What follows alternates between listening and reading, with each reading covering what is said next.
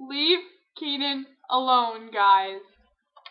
This kid seriously deserves the best from life, I think. Because he may not sing well or anything, but he tries, and I commend his effort.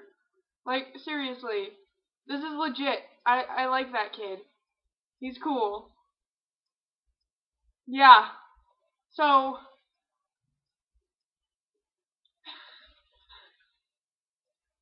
I freaking love you, Keenan.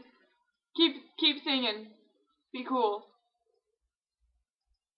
Cause, Cause you're cool.